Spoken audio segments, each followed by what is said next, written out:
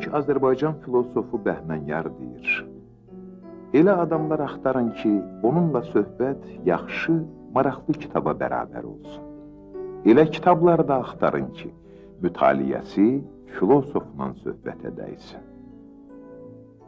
Təbii, belə dəyərli həmsöhbət gözəl alim ola bilər. O alim ki, həyatını, istedad və bacarığını, elmi axtarışlarını insanın mənəvi dünyasının zənginləşməsinə sərf etməyi özünün müqəddəs borcu bilir.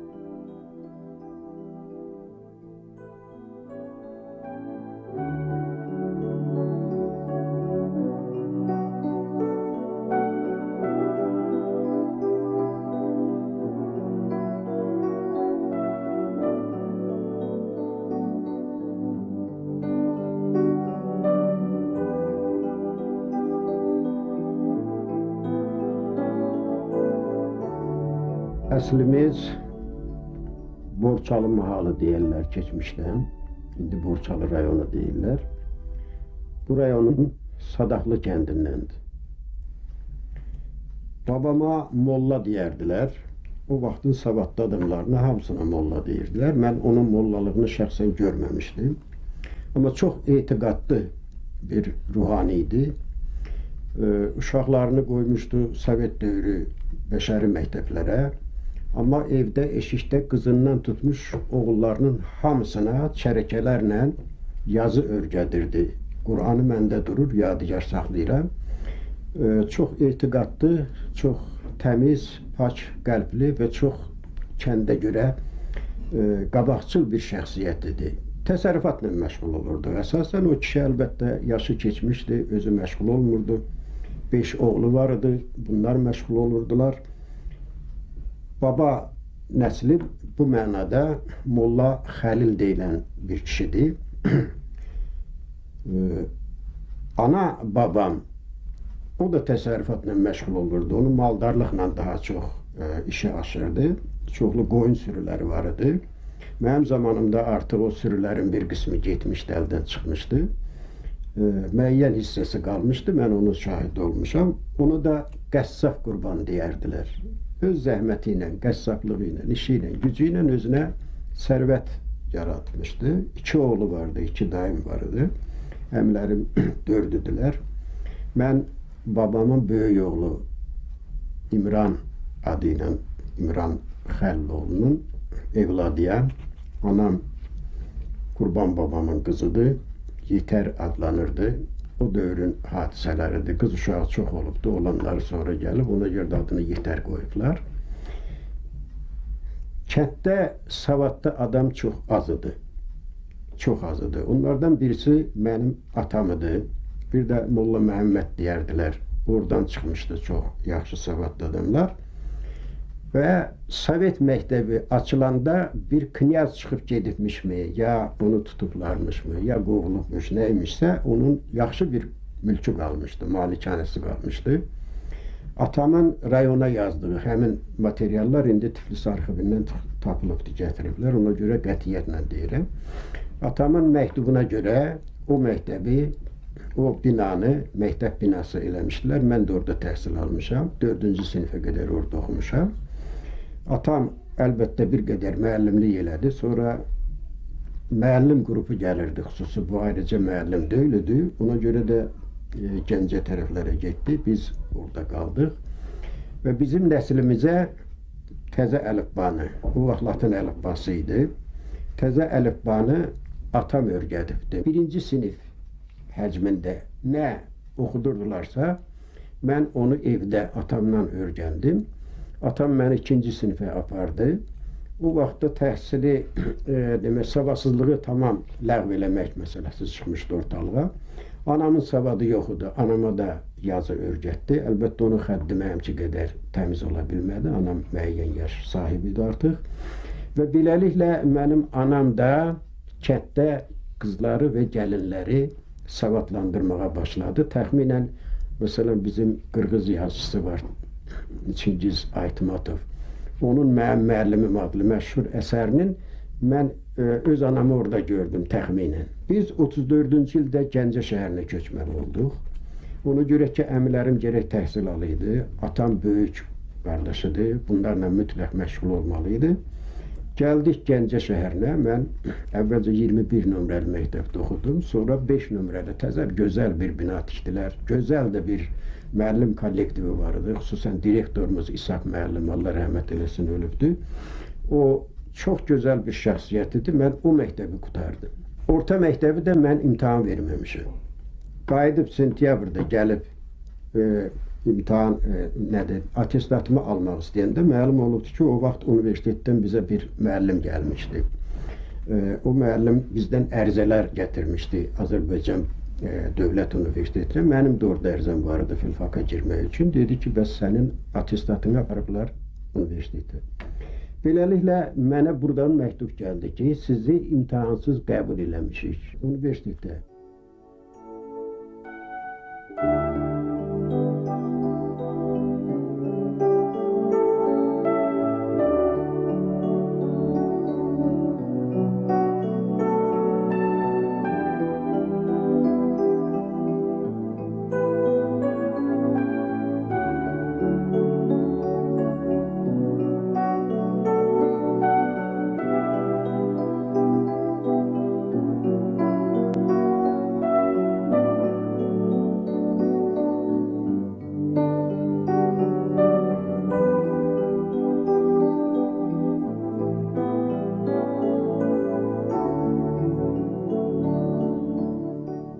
Akademiklərimiz var idi o vaxt.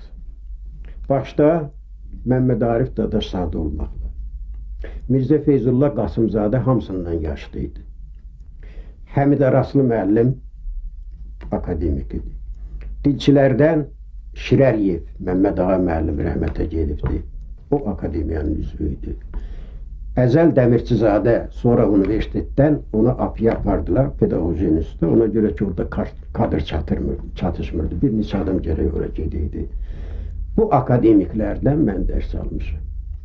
Professorlar gələndə, məsələn, Əli Sultanlı müəllimin, professorun, rəhmətliyin, o qədər gözəl leksiyası olardı. Belə artistik onda hünər var idi müəllimliklə bərabər ki, biz xüsusən e, bu Yunan ədəbiyyatının mifologiyasını keçəndə o da çox zəngindir miflə, olduqca çox zəngindir.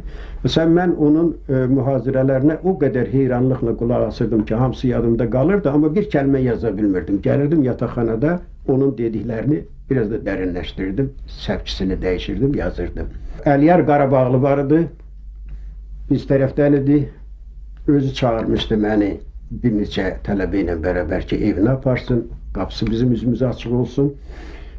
Bundan başqa Muxtar müəllim var idi, dilçi, çox gözəl müəllim idi, Cənub Azərbaycandan idi. Əsli Hadi Mirzəzadə Bakıdan idi. Bunlar hamısı professorlardılar. Cəfərxandan bizim dekanımız da oldu, prorektorumuz da oldu, rektorumuz da oldu kafedramızın müdiri idi və mənim elmi rəhbərim kimi də mən onu həmişə əziz tutmuşam. Mənim namizədlik dissertasiyamın elmi rəhbəri o olubdu. Məni universitetdə saxlayan şəxsiyyətlərdən birisi odur və universitetdə qalmağıma təkid eləyən mənim üçün çox çox təəccüblü idi. Onu mən heç vaxt unutmayacağam.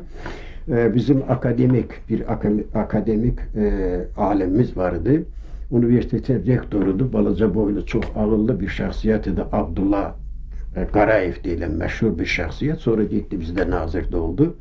Bax bu adam məni gəlib təyinat zamanı təkidlə dedi ki, bu Stalin stipendiyası alır. Biz onu heç yerə buraxa bilmərik. Bizə kadr lazımdır. Və məni də təcrübə salan o idi ki, biraz da utandım orada çox e, onun o sözündən. Görün nə qədər gözəl insan idi ki, mənim birinci kursum, birinci semestrində məruzə eləmişəm tələbə cəmiyyəti xətti ilə. Onun adına qədər yadında qalmışdı. Dedi ki, mən Pənahı mə məştubat haqqında məruzəsindən tanıyıram. Bizim müəllimlər bu cür adamlardılar. Müəllimlik şərəfli işdir və bizcə də sizə misal gətirirəm. Teymur Lənk bu məşhur şəxsiyyətdir. O müharibəyə gedəndə arvadı onun icazəsi olmadan bir məqbərə tikdiribdi.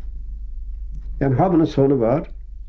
Bu kişinin də Allah eləməsin, eləməsin sonu ola bilər, bir məqbərə tikdiribdi. Həmin məqbərəyə birinci olaraq Teymurlenk öz mürəbbisini, öz müəllimini dəfn eləyib.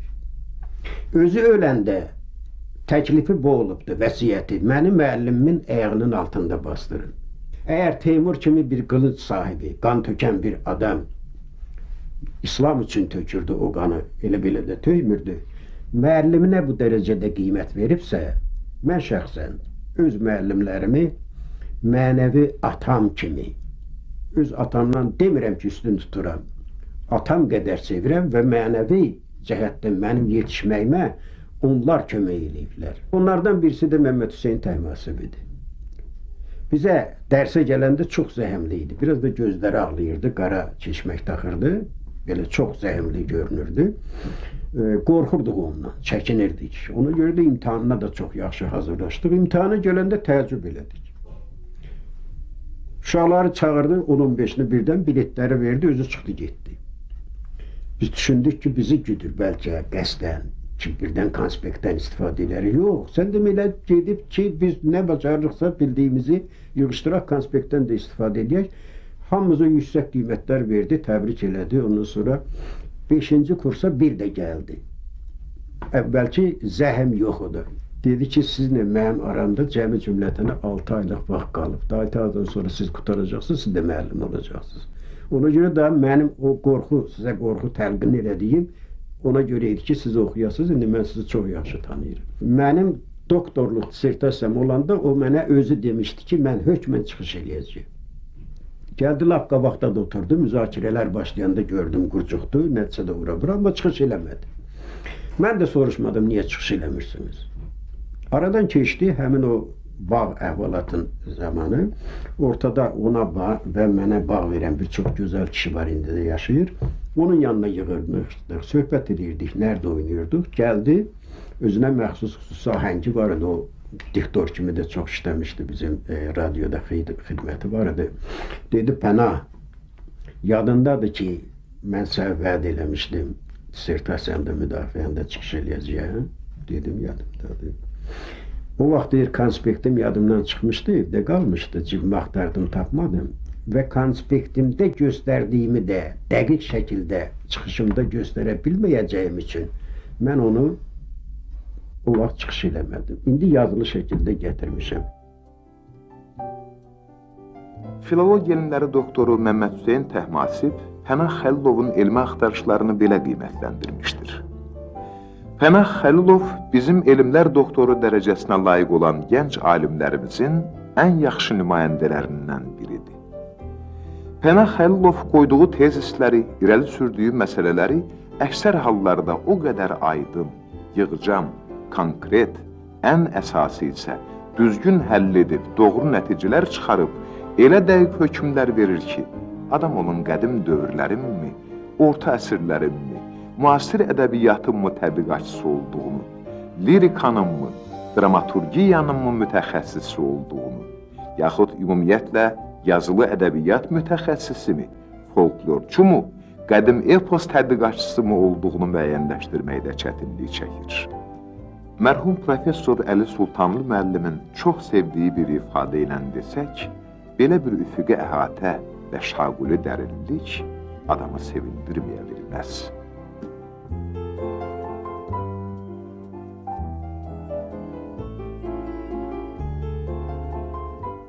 Mən lap gəncliyimdən Nizami ilə maraqlandım. Nizaminin 800 illik yubileyi idi. Çox təntənəli, gözəl keçirdilər. Həmin Abdullah Qarayev dediyim o balaca kişi e, xüsusi pərdələr, ipək pərdələr sifariş vermişdi. Onun üstündə hamısında Nizaminin əsərlərindən gələn miniatürlər var idi. Bizim o köhnə binada indi xalq təsərrüfatının binasıdır. 400 adam e, tuturdu onun zalı. Bax orada mən iştirak eləmişəm. O vaxt mən Nizamidə Zəhmətkeş insan surətləri adlı bir e, məqalə yazmışdım və o məqaləni gənclərin əl yazması hüququnda jurnal var idi. O jurnalda çap elətdir, e, vermişdim, nəşr olunmuşdu. Bu mənada mən Nizami ilə məşğul oldum. Elə ki, aspiranturaya keçdim, onda yazı qabiliyyəti artıq məndə yetişdiyini hiss elədim, yoxsa getməzdi. Və Birinci məqaləmi Səməd Vurğunun Zəncinin arzuları haqqında yazdı. Bu mənada mənim yaradıcılığımın 50-60-cı illəri ədəbi tənqid sahəsində keçir. Mən rəhmətli Mirzə Feyzullahın kafedrası idi, Azərbaycan ədəbiyyat tarixi. Orada yetişmişəm. Sonra Cəfər müəllim Cəfərxandanın dövrü gəldi. Sonra Mircəlal müəllim o kafedranı apardı. Ee, Eseri xalqları ədəbiyyatı o vaxtdan keçilirdi. Amma o kafedraların nəzdində keçirilirdi. Elə ki mən bunun müntərabatını hazırladım. 1956-cı ildə universitet nəşriyyatı buraxdı. 36 çap vərəqə həcmində yeganə hadisə idi. Rektorumuz onu məndən icazəsiz, mənim xəbərim olmadan Kommunist qəzetində təbliğ elətdirdi. Yusif Məmməd Əliyev akademik. Mən cavanca bir adamdım. Bunun dalınca mən dərslik yaratdım. 2 cilddən ibarət dərslik. 52 çap vərəqə həcmində, 15 respublikanın hamısının ədəbi var, ədəbiyyatı var idi. Və prinsipim bundan ibarət oldu ki, mən hansı ədəbiyyatı keçirəmsə keçim, Azərbaycan ədəbiyyatını onunla bağlamasam, heç bir şey çıxmayacaqdı. Mən bu ədəbiyyatın sahibiyəm və ədəbiyyatımız kimə necə təsir göstəribdir, onları da bir-bir göstərməliyim. Buna görə mənim bu kitabım 1966-1968-ci illərdə çıxdı 52 çap vərəqə həcmində. Allah rəhmət eləsin yenə Mircəlal müəllimə. Elə birinci cildi çıxanda dedi gətir bunu müdafiə edəcəm. Mən Çəmən zəminində mövzu götürmüşdüm. Çəmən zəminin yaradıcılığı. Dedi onu yazarsan monoqrafiya olar. Gətir bu hazır kitabdır verginə və ikinci kitabı çıxandan sonra mən o iki kitabı təzədəndən maşınkada yazdırmadan kitab şəklində müdafiə elədim, Moskvaya göndərdim və Moskvadan da çox bəyəndilər, qaytardılar geriyə, təsdiq elədilər. Mənə elmi ad verdilər, professorluğumu da sonra aldım, doktorluğumu. Və onda mən hiss elədim ki, daha o kafedraların tərkibində biz qala bilmərik. Hər şey yerindədir, müəllimim var, kənardan adam çağırıram, əlaqələrimiz var. Belə qərara gəldim ki, mən gərək e, bu İSSR Xalqları Ədəbiyyatı kafedrasını açacağam. Mən SSR Xalqlar Ədəbiyyatı kafedrasını açanda belə nəzərdə tutdum ki, bu kafedranın doğrudan da kökü çox dərindir. 15 il mən rəhbərlik elədim. Bütün Orta Asiya respublikaları ilə geniş əlaqə yaratdım. Ee, və bu əlaqələr də məni o yerə gətirdi ki, Orta Asiyada məni tanımağa başladılar və məni müəyyən məsələlərin həllinə cəlb elədilər, əzizlədilər. Mən də onları əzizlədim. Qanuna görə, nazirliyin əmrinə görə iki professor mübadilədə iştirak etməli idi. Mən buranın kafedrasının müdiri və mütəxəssis kimi, eyni zamanda Ləziz Qayımov deyirlər. O da orada kafedra açmışdı məndən sonra. Bu istiqamətdə o da bir adam kimi. Amma biz onunla şərtləşdik. Bizi orada dinlədilər. Mən getdim Azərbaycanca oxudum. Azərbaycan ədəbiyyatını sən gəldin buradan Özbək ədəbiyyatını Özbək dilində oxudun. İndi gərək bizim müəllimlər getsin. Bizim müəllimlərin bu cür mübadiləsini təşkil elədim. Abdullah Qədiri deyilən məşhur bir yazıçıları var. Gözəl bir yazıçıdır. Ötən gün onun məşhurdur. Daha başqa əsərləri də var. Türk ədəbiyyatı ilə də bağlıdır. O mövzuların bəzi hissəsi türklərdən gəlir. Bax buna reabilitasiya vermişdilər. Yəni hüququnu bərpa eləmişdi dövlət əli ilə. Amma gözü götürməyən ağzı göyçəklər səndə onlarda bizdən çox olur. Mən onların müşavirəsinə gedəndə bir nəfər açıq-aşkar dedi ki, Abdullah Qədiri nahaq yerə e, bərpa olunubdur. Abdullah Qədiri Rus xalqının düşmənidir. Yerdən ona bizim Arif müəllimin səviyyəsində olan İzzət Sultanov var, çox məşhur bir alimdir. Replika verdi ki, Çar Rusiyasına qarşı. Gənə dedi ki, Rus xalqına qarşı. Yerdən genə bir replika verdi. Mən məsləhətləşdim Ləzizgillə ki, mən çıxış eləməli olacağam. Dedi, yalvarırıq sənə mütləq çıxış elə ki. Mən orada çıxış elədim, dedim ki, e, siz Abdullah Qədiri kimi bir adamı reabilitasiya vermisiniz, hüququnu bərpa eləmisiniz, xoşbaxt eləyirsiniz, onun nəsli əzab çəkirdi. Orada elə bir şey yoxdur. Rusun da əleyhinə getmir həqiqətən. Millətin əleyhinə deyil axı. Rus ordusu gələndə tacir buraxır işini gücünü gedir Ağ məsciddə vuruşur orada həlak olur. Sən bunu niyə Rusun əleyhinə qarşı çevirirsən? Amma siz görün ki, məsələn, e, Türkün atı kişniyəndə düşmənin bağrı partlayır deyən Hüseyin Cavid kimi bir adamın haqqında biz monoqrafiyalar yazırıq, doktorlar dissertasiyası yazırıq. Biz onu göyə qaldırmışıq. Heykəlini qoymaq fikrindəyik. Siz özbəklər niyə baxmırsınız bizə? Niyə bizdən istifadə eləmirsiniz bu yerləri? Və onda misal getdim. Dedim ki onun meşhur iblis eseri var. Burada deyir ki iblis nedir? Cümle pisliklere baiz. Herkese hain olan insan nedir?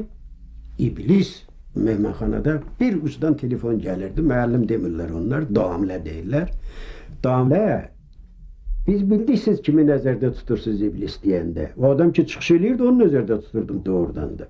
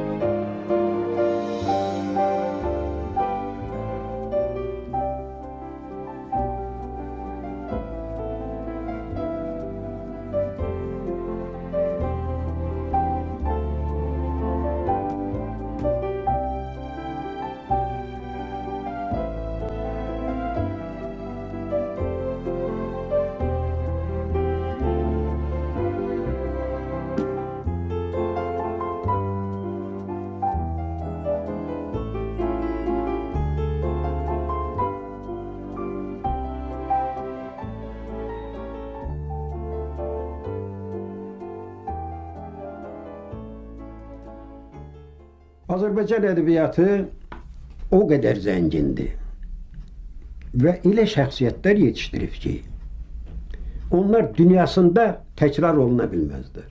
Nizaminin yer üzündə tay bərabəri yoxdur.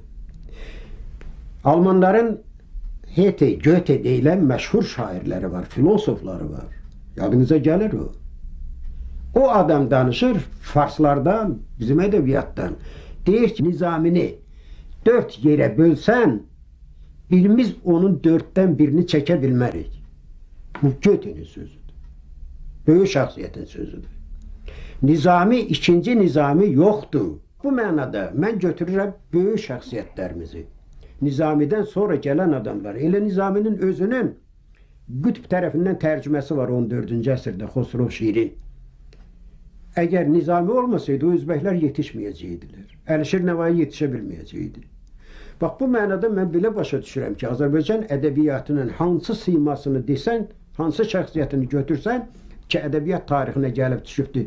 Nəsimisidir, hürufidir, böyük şəxsiyyətdir. Ondan sonra gəlir tutaq ki, e, o 18-ci əsrə doğru bizim böyük nəhəng şəxsiyyətlərimiz Füzuli orta əsrin nəhəngidir. Mən o birlərini demirəm. 19-cu əsr gəlir Mirzə Fətəli Axundov kimi böyük bir türkçü gəlir onu. Ziya Göyalp türkçülər içərisində Mirzə Fətəli Axundovu göyə qaldırır. Gəldi məsələn 20-ci əsrə, 19-cu əsrə sabir yetişə bilməz yer üzündə. İkinci bir sabir ola bilməz. Nə özümüzdə, nə də başqa bir millətdə. Mümkün deyil o. Özdə balaca bir kişi savadı da çox deyildi. İranda gedib bir tikə təhsil alıb qayıtmışdı. Allah vergisi idi bu. Təbii vergi idi bu. Cəlil Məmmədquluzadə bu balaca şəxsiyyət deyil, adicə bir adam deyil. Knyazlığı yox idi, bunun dövlət xadimliyi yox idi. Arvadı gözəl bir qadın idi. Onun köməyi ilə Molla Nəsrəddin bir vaxt çıxmağa başladı. Cənubi Azərbaycana apardılar. Orada da kişilər çıxdı ortalığa. Dedi ki, qoy bizi tənqid eləsin, eybi yoxdur. Hətta bir nəfər gəlib bir valiyə şikayət eləmişdi ki, bax bu Molla Nəsrəddin mənim şəklimi çəkib. Onun şəkli deyil idi, karikatura idi, özünü görürdü orada. Niyə bunu sən buraya dəvət eləmsən? O da gedir Molla Nəsrəddin bir komplektini gətirir, deyir ki, bu kimin şəklidir? Deyir sənin. Deyir mən dilləməmişəm ki ona qarşı. Mənim günahım var şəklimi çəkibdi. Nə istəyirsən? Get yer işini gör. Bu mənada bizim adamlar nəhəng adamlardılar. Molla Nəsrəddin tay bərabəri yoxdur.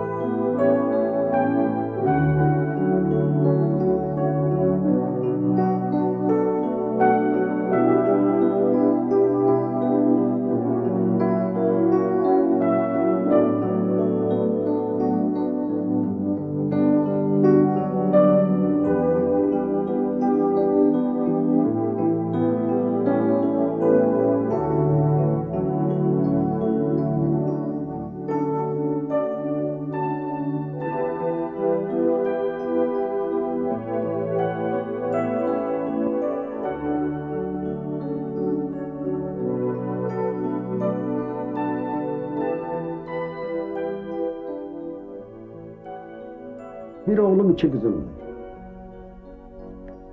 Oğlum Türkiye'dedir. Türkçe çok güzel bilir. Bir nevem ondandı, kız nevemdi. O kız da orada olduğuna göre bizimle Türkçe danışır. Halis Türk lehçesiyle. Buraya gelende biraz lehçesini değişir. İki kızımın heresinden iki nevem var. Küçük kızımdan iki oğlan nevem var. Köyçe uşaqlardılar çok. Bu biri büyük kızımdan iki kızın nevem var. Birisi bu yıl ali mektebe hazırlaşır. O birisi ise o kadar da bu saat ders okumak bacarmır. Okumur, hevesi yoktur. Ben de onu e, başka yere celb eləmək istəmirəm. El qabiliyyəti var. Gözəl rəssamdır və rəssamlıq eləməyəcəkdi. O paltar zat, moda tikintisi vesaire o sahaya gedir. O da çok elverişli bir yerdi ve xeyri dəyəcək cemaate. Mən bu nəvələrimin əxlaqından, rəftarından razıyam. Mənəvi evlatlardan elə bir yer yoxdur ki, elə bir mədəniyyət ocağı, hətta başqa idarələr ki, mən onun qapısını açanda orada mənim tələbəm olmasın. O müəllimin şərəfinə bir də qaydı. Müəllim burada şərəfli olur ki, gedir özünün yetişdirməsini ləyaqətli bir yerdə, ləyaqətli bir stolun başında layiq bir adam kimi görür. Mən ondan ləzzət alıram.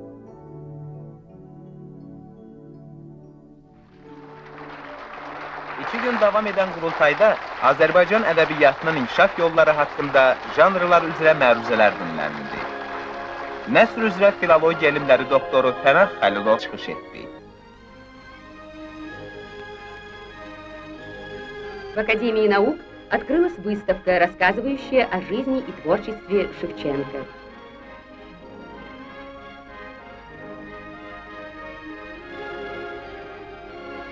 На торжественном юбилейном вечере критик Панах Халилов рассказал о замечательном мастере слова, все свои силы и талант посвятившем борьбе за народное освобождение.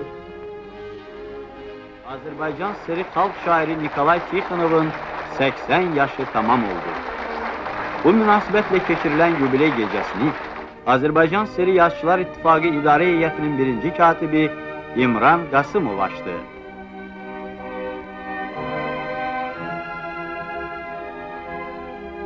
Tənqidçi Pənah Xəlilov Tixonovun həyat və ictimai fəaliyyəti haqqında məruzə etdi. Onun Azərbaycan ədəbiyyatının inkişafındakı xidmətlərindən danışdı.